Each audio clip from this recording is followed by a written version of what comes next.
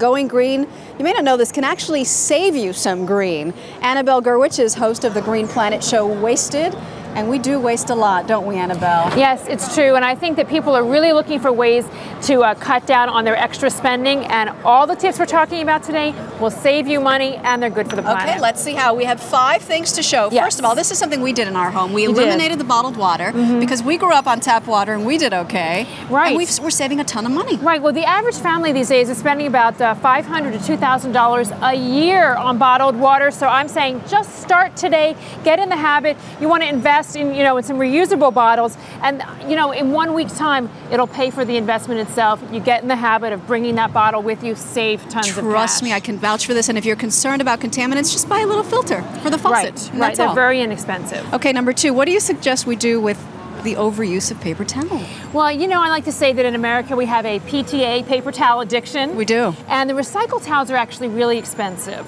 So I am advocating this year ditch the paper towel altogether, invest in some dish towels. You probably have them in your house, right? It'll save so much money and it's great for the environment too. But then do you have to do extra laundry? Yes, you do. it's true. So you actually want to get a lot of dish towels so you're not doing laundry all the time. There you go. It's another one of those invisible costs.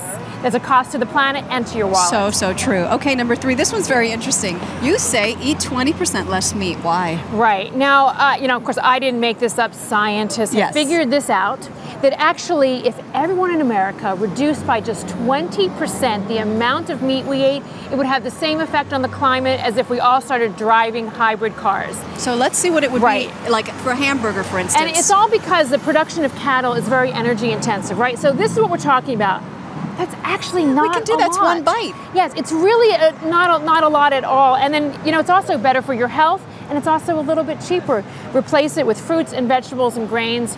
Do your health a Good favor, one. do the planet a favor, and your wallet. All right, we have a little bit of time left and we want to get to the Right. last two. Homemade cleaners. Yes. Now last year on Wasted, nobody wanted to do this. I know it's, I'm a little skeptical. You know what? I actually timed it out. This is a recipe for glass cleaner. It took me 60 seconds. And it works. It. it works. Okay, show vinegar, me. You water. have 10 seconds. Yes, vinegar, water, baking soda, mix it together, and uh, we have the recipe on treehugger.com. You'll save maybe $500 a year. Oh, you just got my attention. supplies, yes. All right, and lastly, junk mail. Look at all this. How do Yes. we get rid of it? Is there a way to get rid of junk mail? Well, you know, we're working on this. The first thing is, you know, it uses 100 million trees a year, right? So I'm asking everyone to join me. Go to donotmail.org, sign up a petition to get a do not mail registry, like the do not call registry. Oh, okay. And, you know, I've Great also idea. asking people on Earth Day to make one phone call. Call the catalog company that sends you three catalogs, you know, one And for everyone in your "Stop house. it." Say, stop it. I love your product, but I don't need the catalog. Okay, Annabelle Gurwitch, thank you so much. Thanks so much, Maggie.